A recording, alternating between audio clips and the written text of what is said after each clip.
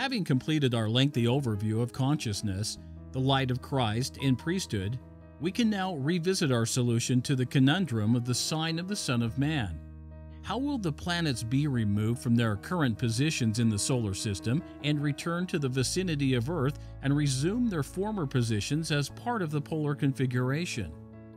We know that in ancient times, planets were commanded by prophets to move and act, and the planets, as conscious beings, were compelled to obey. The planets of the sign of the Son of Man will also be commanded by a latter day prophet and will obey in return. We offer the following scenario as to how this will all come to pass, based upon what we have already set forth in our videos.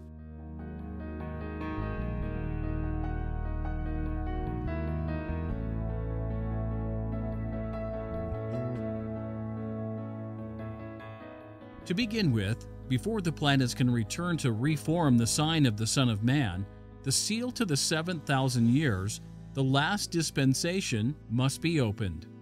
As we learned from the Lord's answers to Joseph Smith's questions concerning the book of Revelation, the seven seals on the back of the books seen by John represented the things of each of the 7,000 years of the temporal history of the world. The seventh thousand years includes the restoration, the second coming, the gathering of Israel, the millennium, and the end of the world. The opening of the seal, of course, begins the seventh thousand years and the start of these sequence of events. The seal is opened in chapter 8 of the book of Revelation, and the events chronicled in the book are to occur after the opening of the seal and before the coming of Christ. The seventh seal has already been opened. It was opened on April 3, 1836, when Moses, Elias, and Elijah bestowed the keys of this dispensation upon Joseph Smith and Oliver Cowdery. The bestowal of the keys of the kingdom meant that all the necessary power and authority had been restored to man to accomplish the great events of the seventh thousand years. It also meant that the great and dreadful day of the Lord was near, even at the doors.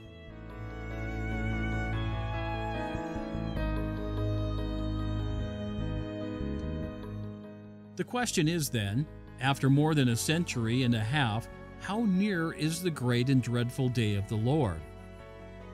The revelation of John provides some context as to the timing of this great event and its relationship to the opening of the seventh seal.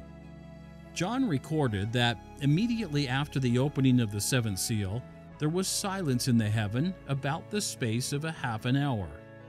Scholars, both inside the church and outside, are at a loss as to the explanation of this verse. Most non LDS scholars agree that the half hour represents a short time. Of course, short is a comparative term, and the scholars provide no context as to whether hours, days, months, years, or even centuries are contemplated by the term half an hour. LDS scholars do not even attempt to explain the statement. 2019's course of study for Sunday school, primary and individuals and families, is the New Testament. The manual avoids the verse altogether. The closest the church comes to an explanation is a statement of Apostle Orson Pratt made concerning a similar verse in section 88 of the Doctrine and Covenants.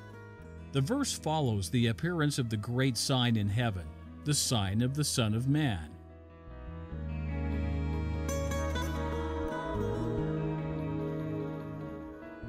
Elder Pratt opined that he didn't know the duration the Lord meant by half an hour but reasoned that it could refer to an extensive period of time.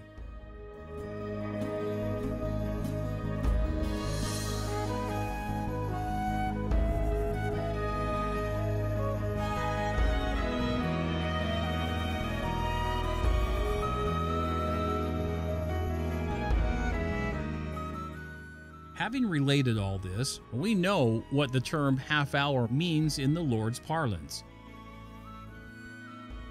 We have pointed out earlier that the Lord uses a system of sacred time. The prophetic year, The year of perfection was a period of 12 months of exactly 30 days each. The prophetic month consisted of 30 days. This is the basis of the years, months, and days expressed in the writings of Daniel and Revelation.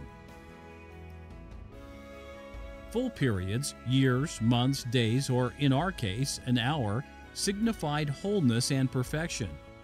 Half periods signified cutting short time, incompleteness, or imperfection.